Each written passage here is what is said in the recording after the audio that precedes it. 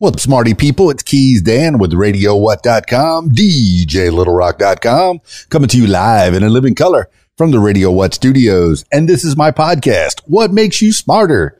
It's an extension of the RadioWhat.com internet radio station that I've been running for quite some time. And if you need DJ services, where do I always send you? DJLittleRock.com. One more time, DJLittleRock.com. Check availability and get a free price quote. And maybe you could have me at your next event. You know, I like to party with the people. The people need to be entertained. Make your next thing a big one. Also, if you'd like to tell your story or hear the stories of others, I encourage you to check out my other podcast. It's called What Makes You Famous. Find it everywhere using the hashtag What Makes You Famous. Now, on with the show.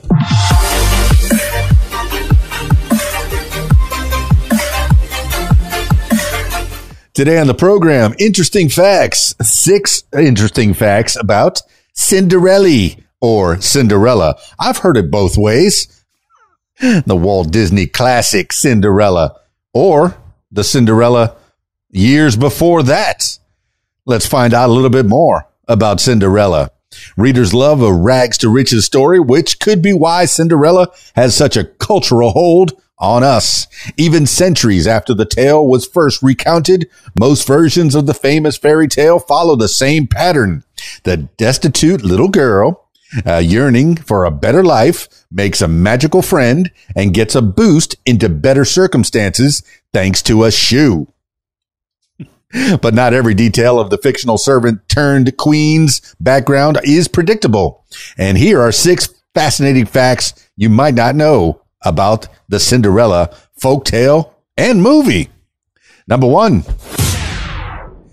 The first Cinderella story may have come from ancient Greece. The ball gown bedazzled Cinderella we know we know today is far from her origins, which may have been in ancient Greece. Some researchers point to the tale of Rhodop- Rhodopis, uh, R H O D O P I S. I'm going to say Rhodopis. a story recorded by Greek geographer Strabo around the first century BCE as a possible beginning. In that account, Rhodopis is a courtesan whose shoe is stolen by an eagle and dropped into the lap of an Egyptian pharaoh. Seeing the shoe as an omen from the gods, the royal sends soldiers throughout the kingdom to track down the shoeless woman, who eventually becomes his wife. However, not everyone agrees that the tale of Rhodopis is truly the first Cinderella story. Some historians, say that Strabo's brief description of the tale is only similar to today's version in that it hinges on a shoe. The centuries old version lacks a fairy godmother, cruel stepmother, and other key components we now think of as standard. Number two. There are more than 700 versions of the story. Whether or not Rhodopis was the first Cinderella, she certainly wasn't the last. Fairy tales with similar shoe-based plots have cropped up worldwide. Some librarians count more than 500 versions found in Europe alone, while global counts are as high as 700. Culture has played a heavy role in each story's details. One Italian rendition renames the princess Zuccatina? Zuccatina? Z Z U C C H E T T I N A. Zuccatina. Let's go with that. Because she was born inside of a squash. In the Danish tale Cinderella, they're called Askepot, A S K E P O T, wears rain boots, a detail particularly fine tuned to Denmark's rainy climate. However, in the version that has had the most recent popularity, first penned by French author Charles Perrault in 1697, Cendrillon, uh, Cendrillon, C E N D R I L L O N, is eventually found by her prince thanks to a glass slipper. Hey, starting to get familiar, right? Uh, the first edition of the story to include such a delicate shoe. Number three, the famed glass ship, uh, glass slipper may have been a political statement. Perrault's choice to cast Cinderella's sparkling shoes from glass may have been less about fashion and more about politics. According to some academic researchers, historian Genevieve Warwick at University of Edinburgh uh, believes that the detail was actually meant in part to poke fun at Louis XIV, King of France from 1642 to 1715.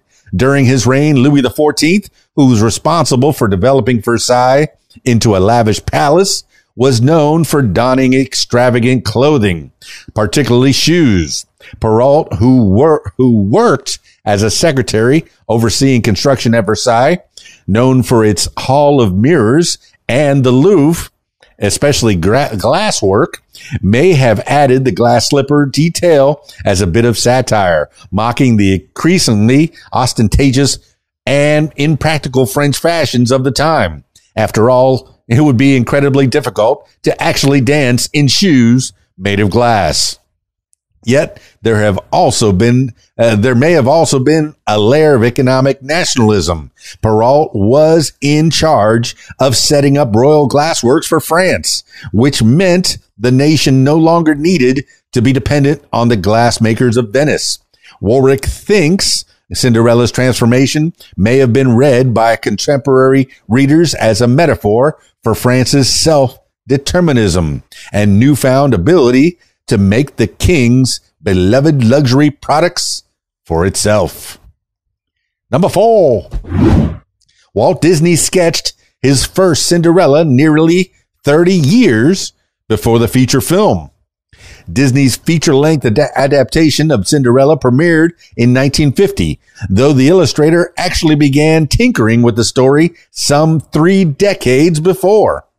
A Laugh-O-Gram, Disney's first studio, or at Laugh-O-Gram, Disney's first studio in Kansas City, the artist tested out his animation skills through an interest in fairy tales. In 1922, the young animator produced a silent seven minute version of Cinderella, in which her only friend was a cat who helped with the housework, and her fairy godmother sent her off to a ball in a in flapper attire and a car instead of a pumpkin.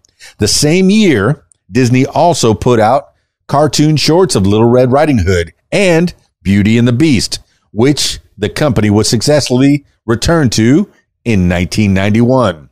Number five. Cinderella saved Walt Disney from bankruptcy. Cinderella, uh, Cinderella. I keep saying Cinderella.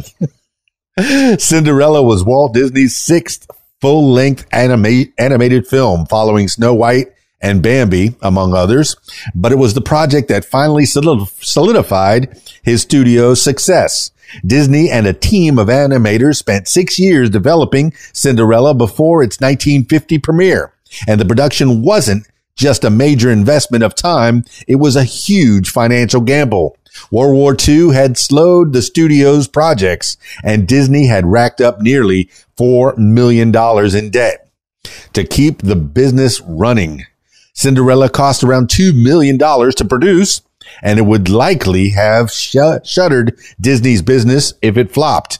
Luckily, the film grossed more than $4 million at the box, off- box office and gained three Oscar nominations for its soundtrack, which helped usher in a new era for Disney's studio. Hey, Cinderella saved Walt Disney. How about that? Number six. Rodgers and Hammerstein's adaptation was their only TV musical. Broadway superstars Richard Rodgers and Oscar Hammerstein II wrote 11 musicals during their partnership, though the duo created only one specifically for television viewers, Cinderella.